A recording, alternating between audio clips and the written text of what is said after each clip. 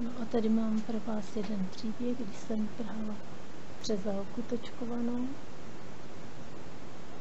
A maliny tam taky byly, tak jsem si nazobala. Tak v té straně v trávě byly kameny. A tak mě jeden zaujal, zrovna tahle ten, takže jsem ho takhle vzala. A vemu ho, ale on tam byl takhle pěkně zasazený. Ale úžasný, vypadá trošku jako zub. Podívejte se, jak je nádherně rostlý. Jak se vytvořil, ta příroda je fakt fantastická. A tadyhle už vidím obličej, vidíte ho taky?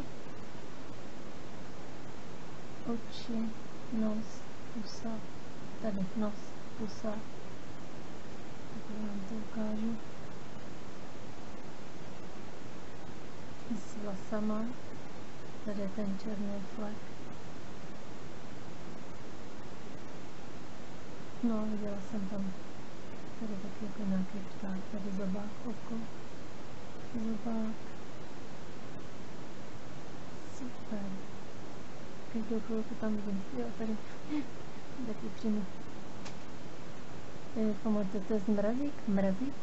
Mrazíku ty loupežníci, ty měli takový ty jejich typický čepice, oči, nos, pusa, jeden takový loupežník povedený. A další a další, když to otočím, tak tady vidíte sovičku na nebo kočku, cokoliv si můžete představit tady. Takhle. Tady možná tělo,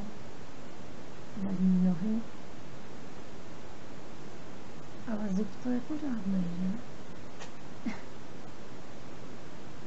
Ta příroda je fakt úžasná. to je nádherně se v ruce drží. Super. Zub a najednou spodek má úplně jiný. Takže jsem se zaradovala. No. Tady taky jedna tvář. Vlasy s kloboukem oko, nos, pusa, žena.